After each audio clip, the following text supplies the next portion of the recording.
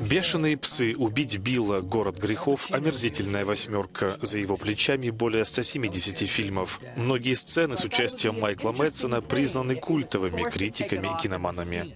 Любители вестернов и криминальных триллеров со всего мира теперь смогут лучше узнать своего кумира. Режиссер Доминик Милана посвятил жизни и карьере актера документальную картину «Американская крутизна. Ретроспектива Майкла Мэтсона».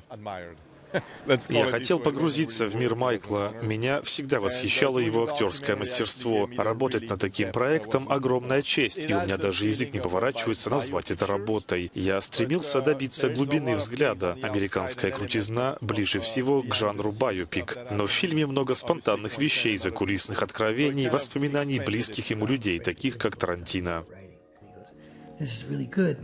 Работа над картиной продлилась пять лет. По словам режиссера, он не хотел скрывать от зрителей семейные драмы или проблемы с алкоголем, с которыми столкнулся Мэтсон.